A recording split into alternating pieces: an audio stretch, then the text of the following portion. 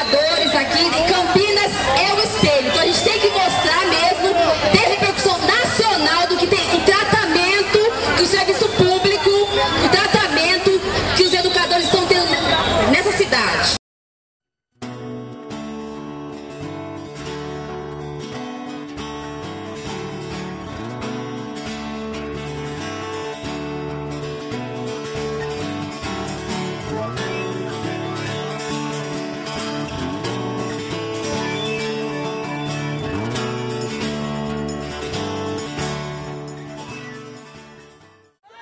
Chamam de subversivo, mas se arrumar emprego, não lhes dão a dignidade, apesar de sujo macacão e do rosto suado.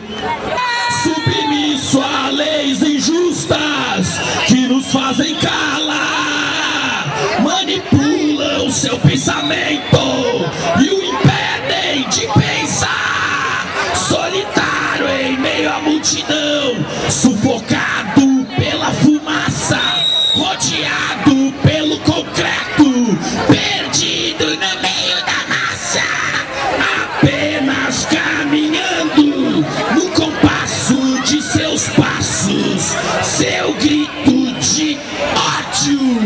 ecoa pelo espaço sem esperança de uma vida melhor, pois os parasitas sugam seu suor, sobrevivendo das migalhas que caem das mesas dos donos do papel,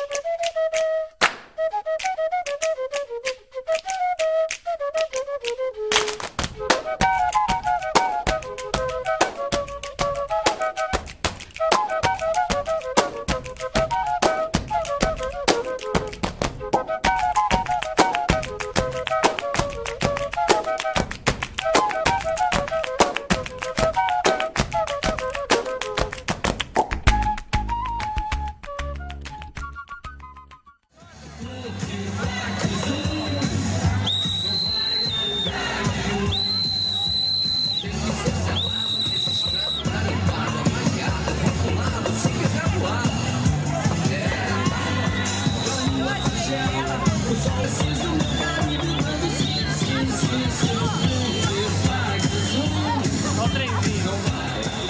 em cada lateral e uma no meio da rua.